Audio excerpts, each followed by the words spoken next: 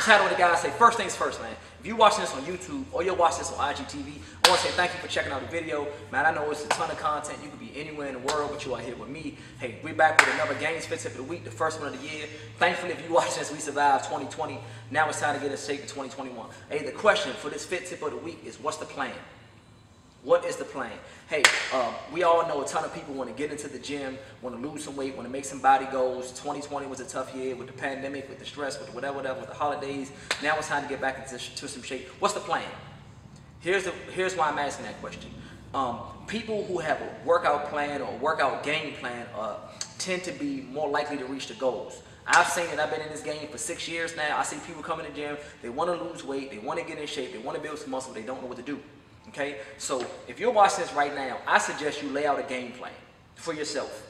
Hey, I want to work, let's say, I want to make a, a, a imaginary plan. I want to work out three times a week.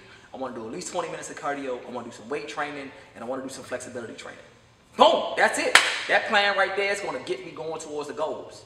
I'm getting my cardio in. I'm being more flexible. Getting stronger. Hey, you know what? Um, I don't really have time to go to the gym. What I'm to do is do three morning workouts in the house, and I'm going to walk in the afternoons. Bang! That type of plan. Having a fitness game plan is going to propel you towards a fitness goal. As opposed to say, I want to work out. Okay, you want to work out how many times? How long? How many days a week? What kind of workouts do you want to do? You want to work out at home? You want to work out at the gym? You to work out on a bike? You to get a treadmill? Got it? So what's the plan?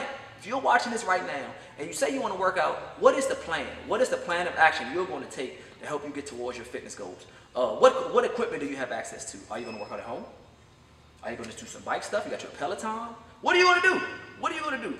When you say right now, you're watching this, this is January the 4th, you're watching this right now, you say you want to get in shape. What's the plan? What is the plan? What is the plan? Hey, if you need help making a plan, by all means, email me. Uh, email should pop up right here. Or DM me if you're watching this on IGTV. But if you don't need a trainer, you need a plan.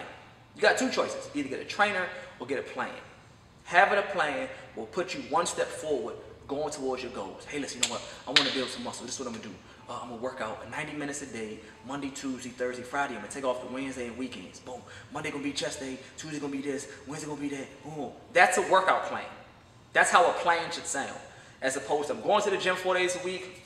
I figure that shit out. That's not how it works. That's not how it works. So again, Happy New Year. Hey, we survived 2020. Hopefully you ain't got COVID. Hopefully you ain't get too fat. Uh, hopefully you uh, uh, understood what I'm saying in this video. And hopefully you email me because my email should be right here. Hopefully you email me down below for some online coaching or maybe just some fitness advice. See you the next one. 2021. Let's go. Gainz.